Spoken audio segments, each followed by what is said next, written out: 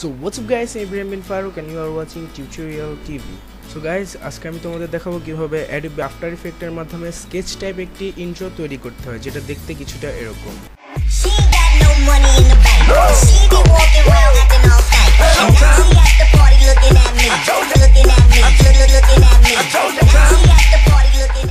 তোমরা ডিসক্রিপশন বক্সে একটি লিঙ্ক পেয়ে যাব সেখান থেকে এই ফোল্ডারটি ডাউনলোড করে নিবা।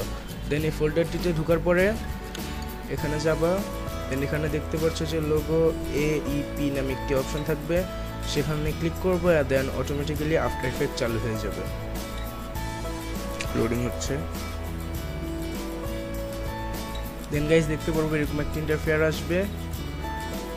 এটা শুরু থেকে দিয়ে নিই। সো গাইস এটা অনেক বড় একটি প্রজেক্ট এটা যদি তোমরা এমনি দেখতে চাও, তোমার পিসিতে প্রচুর হ্যাং করবে অ্যান্ড প্রচুর ল্যাগ হবে, তাই আমি তোমাদের জাস্ট টেকনিকটা দেখাচ্ছি। দেন এক্সপোর্ট করার পরে তোমরা ফুল বুঝতে পারবা যে এটা কীরকম দেখা যাবে। এখানে দেখতে পাচ্ছ যে লোগো নামে একটি অপশন আছে, সেখানে এই ফোল্ডারটি দেওয়া থাকবে বা এই ইমেজটি তো এখানে তোমাদের লোগোটি হবে। জাস্ট সিম্পলি এটুক চেঞ্জ করলেই পুরোটুক হয়ে যাবে আর জাস্ট তোমার টেক্সটগুলো চেঞ্জ করতে হবে। তো এখান থেকে আমরা যেটি করব, আমরা লোগোতে যাব। এটা আমরা অফ করে নিই। দেন এখানে ডাবল ট্যাপ করব। ডাবল ক্লিক দেন পিএনজি টাইপের এখানে দেখতে পাচ্ছ যে আমি আমার লোগো সিলেক্ট করে রেখেছি, তো আমি এখানে এখানে দেখতে পাচ্ছ যে আমি ডাবল ক্লিকের মাধ্যমে এটি ইম্পোর্ট করে নিয়েছি। দেন এখানে যে লেয়ারটি আছে, এখানে ক্লিক করো মাউসের লেফট বাটন দিয়ে দেন ডিলেটে প্রেস করো। দেন দেখতে পারব যেটি খালি হয়ে গিয়েছে। অ্যান্ড দেন এখানে তুমি যেই তোমার লোগোটি রেখেছো পিএনজি হিসেবে, সেটি এখানে ড্র্যাগ করে ড্রপ করে দাও। এটা খুবই বড় দেখাবে। এখানে আমরা ফার্স্ট এটাকে পঁচিশ করে নিলাম। দেন জাস্ট এটা আমাদের সাইজ অ্যাডজাস্ট করতে হবে সাইজ অ্যাডজাস্ট করার জন্য। ঠিক আছে।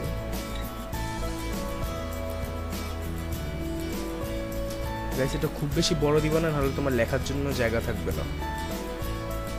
আমি ঢেলে দিলাম। সো গাইস এখানে আমাদের লোগো অ্যাড করা শেষ দেন আমরা এখানে টাইটেল অ্যাড করব। এটা হালকা একটু সামনে টেনে নিলে তোমরা লেখা দেখতে পারবে, এখান থেকে টেক্সট অপশনটি সিলেক্ট করে নিব অথবা কন্ট্রোল ট্রি প্রেস করব। কেটে দিয়ে আমরা। দেন এখানে আমাদের চ্যানেলের নাম লিখব।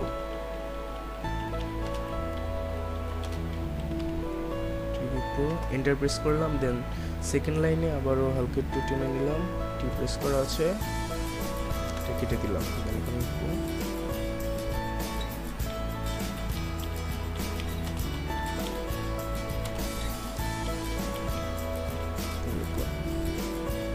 দেন এন্টার প্রেস দেন এখান থেকে আমরা মেইনে যাব। সো গাইস তোমাদের ইন্ট্রোটি বলতে গেলে তৈরি। তোমরা এখানে ব্লারি দেখতে পাচ্ছ বাট এটা শেষ পর্যন্ত এই যে হবে ক্লিয়ার হালকা একটু লোড হয়ে তারপর দেন তোমরা এখানে ফাইলে যাবা। এখানে এক্সপোর্টে ক্লিক করবা দেন অ্যাড টু র্যান্ডার এখান থেকে তোমরা কোন ফোল্ডারে সিলেক্ট করবা, সেটি সিলেক্ট করে নিতে পারো। Then just simply render press করব। আছে এটা একটু সময় নেবে। সো গাইস আমাদের ফাইলটি এক্সপোর্ট করা হয়ে গিয়েছে। অ্যান্ড দেন দেখতে পাচ্ছ যেটা সাইজ এসেছে দুই জিবি বাট এটা বলতে গেলে খুবই কম সময়ের একটি এই যে দেখো, আমি চালিয়ে দেখাই। ঠিক খুব সুন্দরভাবে স্কেচ হয়ে।